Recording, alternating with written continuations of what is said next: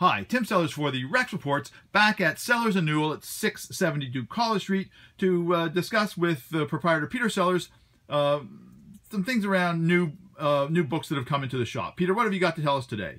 Well, today, Tim, I want to talk about this set of books right here 13 first editions, all by Ian Fleming.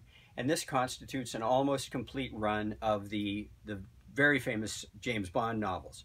Uh, the first book in the series that I have is Live and Let Die, which was the, the second book in the series, a lovely, you know, beautiful, uh, very, very simply designed, elegant dust jacket in, in quite good shape. These books were not printed in large quantities and the jackets uh, were not coated in any way, so it's just paper and they are relatively delicate. So it's hard to find them in really good shape in this kind of a collection.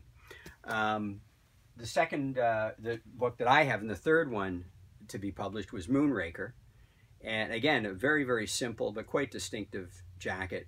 Probably in some ways the, the least memorable of the of the Bond jackets, but but intriguing nonetheless. Now, now can I interrupt for that? Yeah. That's interesting. So, Live and Let Die was the second book, and Moonraker was the third book. I guess I was thinking that they were uh, published in order that the movies came out, but clearly that's not the case. No, not the case at all. In fact, the first film, uh, in I believe 1962, was Doctor No, which um, was the sixth book to be published. Huh. Interesting. And so um, after Moonraker came Diamonds Are Forever, right. um, which again was the the last uh, of the Cubby Broccoli Bond films that um, uh, that uh, Sean Connery did.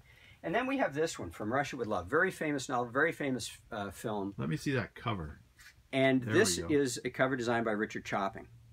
And this is the, he was the iconic uh, Bond cover designer who, so they, they did this book with him, and it's absolutely a stunning, a stunning cover. And then they went away from him for one more book, which was the aforementioned Dr. No, still very distinctive, but, um, you know, quite a different approach than, uh, than Chopping took.